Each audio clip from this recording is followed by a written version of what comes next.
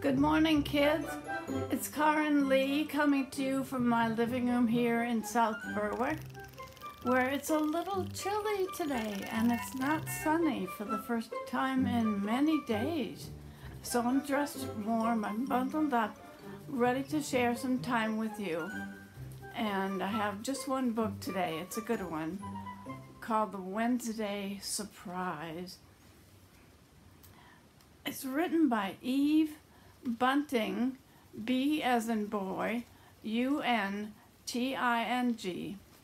If you could get an adult to help you get online and Google an interview with her, she's very interesting. She speaks with this beautiful Irish brogue. She grew up in Ireland and lived there until she had three children.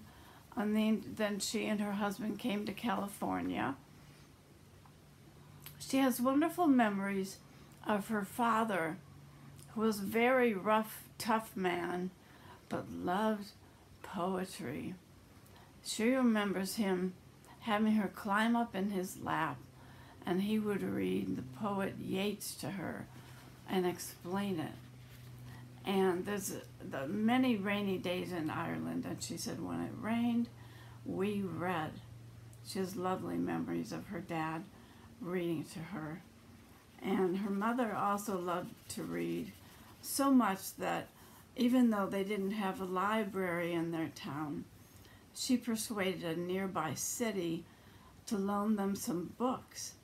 And she loaned them out to people for a tuppence a piece, which I think is like a penny per book. Um, which perhaps practice didn't last too long because her mom didn't keep good notes and wasn't good at persuading people to return books. So pretty soon the bigger town had to say, I'm sorry, we can't lend you books anymore. But she grew up surrounded by books and learned to love to read and then to write.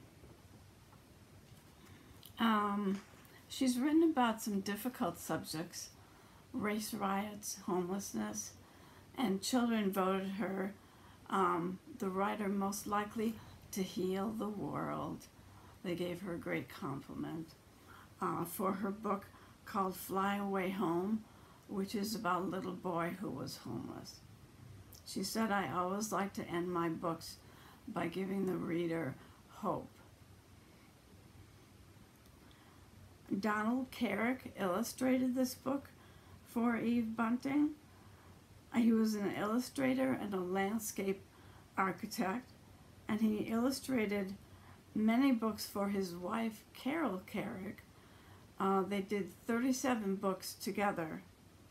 So he did many books before he died. A couple things about this book. Um, in one on one page, the grandmother says to the little girl, "You're as smart as paint." That's an old expression for saying you're very smart and um, and then towards the end of the book, the girl's father brings her a, a rock that's speckled, and she says like a speckled egg. Some hens do lay speckled eggs. It's like they lay brown eggs and green eggs and blue eggs. Okay.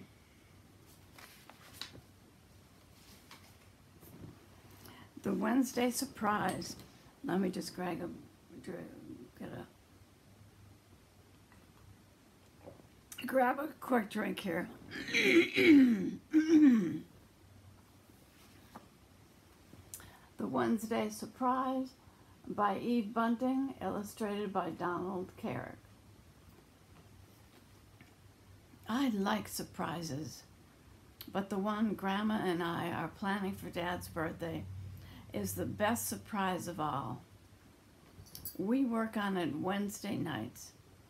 On Wednesdays, Mom has to stay late at the office, and my brother Sam goes to basketball practice at the Y.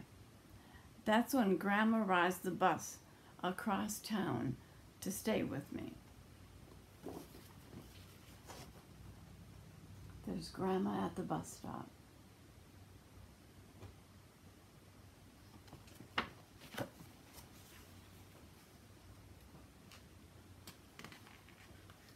I watch for her from the window and I blow on the glass to make breath pictures while I wait. When I see her, I call, Sam, she's here. And he says it's okay to run down, down the long stairs and wait by the door. Grandma, I call. So she must live in an upstairs apartment.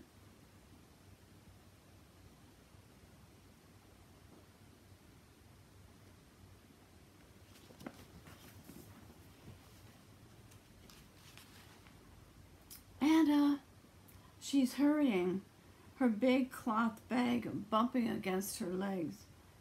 We meet and hug. She tells me how much I've grown since last week, and I tell her how much she's grown too, and I, which is our joke. Between us, we carry her lumpy bag upstairs. I show Grandma my breath picture, if it's still there. Mostly she knows what it is. Mostly she's the only one who does. There they are hugging when Grandma gets there.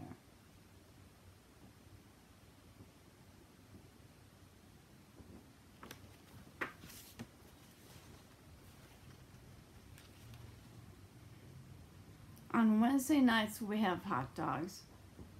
Have you heard from your dad? Grandma asks Sam. He'll be back Saturday, same as always, Sam says, in time for his birthday. His birthday? Grandma raises her eyebrows as if she'd forgotten all about that. Grandma is some actress. When Sam goes, she and I do the dishes. Then we get down to business. There they are having hot dogs.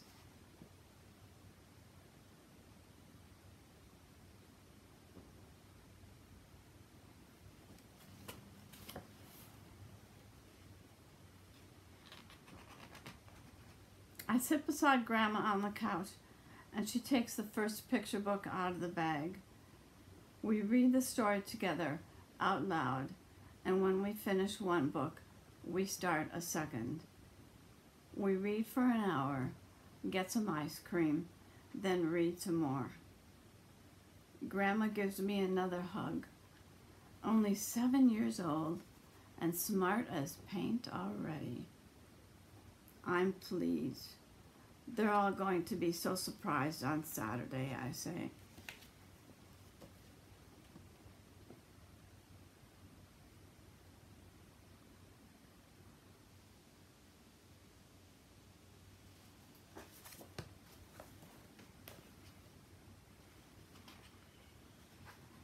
When Sam comes home, we play card games, and when Mom comes, she plays too. You'll be here for the birthday dinner, Mom asks, as Grandma is getting ready to leave. Oh, yes, the birthday, Grandma says vaguely, as if she'd forgotten again. As if we hadn't been working on our special surprise for weeks and weeks. Grandma is tricky. I'll be here, she says.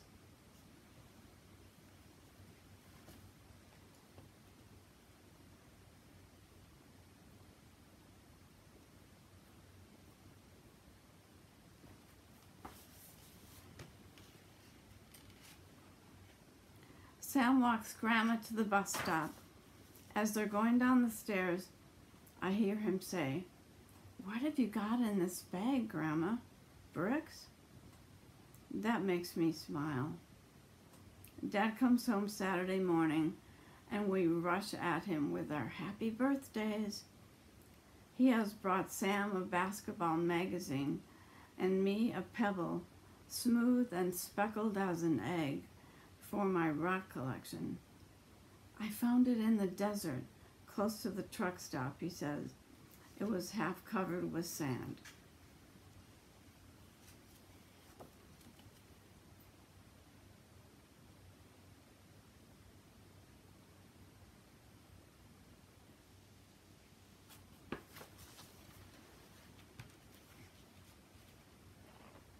I hold it imagining I can still feel the desert sun hot inside it. How long did it lie there, What kind of rock is it? Dad has stopped to pick wildflowers flowers for mom. They're wilting and she wants to put them in water. Then dad has to go to bed because he has been driving his big truck all through the night.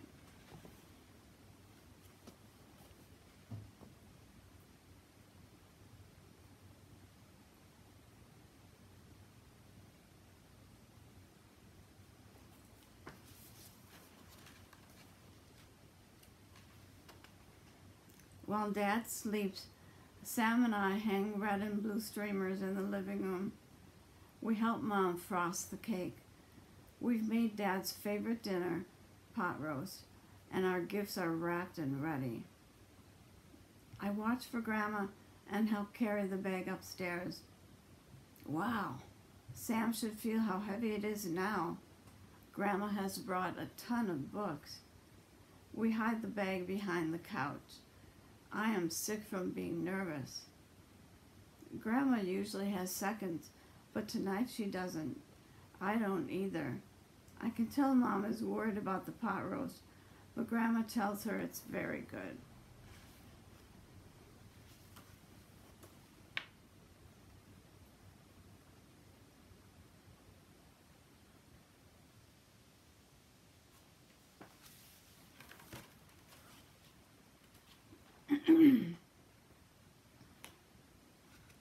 Are you feeling well, Mama? Dad asked Grandma.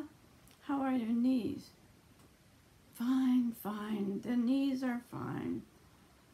Dad blows out the birthday candles and we give him his gifts.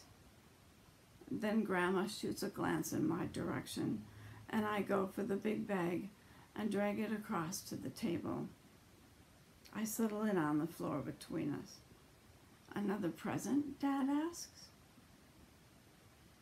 It's a special surprise for your birthday, Dad, from Grandma and me.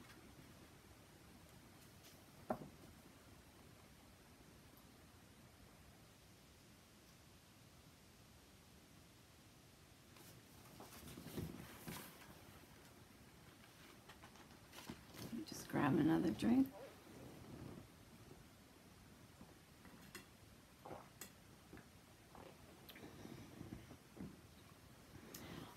Beating awfully fast as I unzip the bag and give the first book to Grandma. It's called Popcorn. I squeeze Grandma's hand and she stands and begins to read. Mom and Dad and Sam are all astonished. Dad jumps up and says, What's this? But Mom shushes him and pulls him back down. Grandma has the floor. She finishes popcorn, which takes quite a while, gives the book back to me, and beams all over her face. So Grandma's doing well.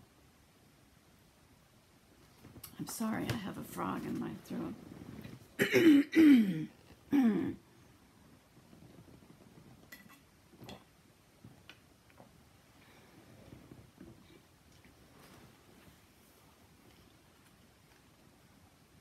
My goodness, Mom is beaming too.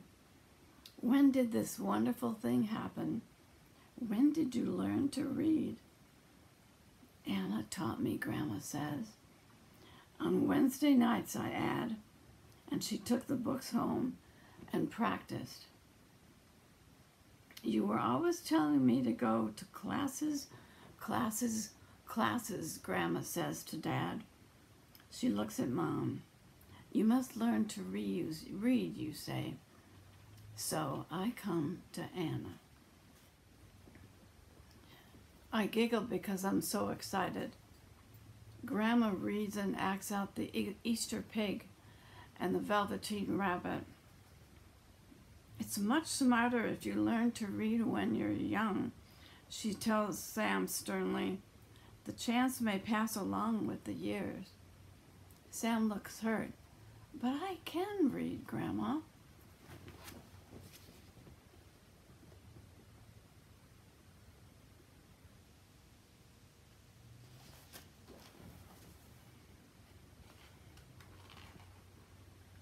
Nevertheless, she takes out another book. Are you going to read everything in that book? In that bag, Mama? Dad asks her. He's grinning, but his eyes are brimming over with tears, and he and Mom are holding hands across the table. Maybe I should read everything in the world now that I've started, Grandma says in a stuck up way. I've got time. She winks at me.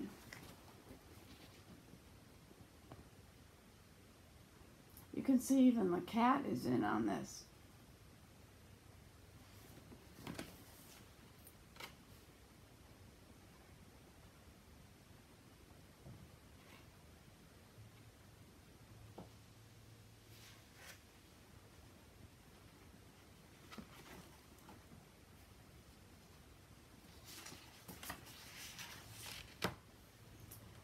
So, Anna, what do you think? Was it a good surprise? I run to her and she puts her cheek against mine. The best ever, I say.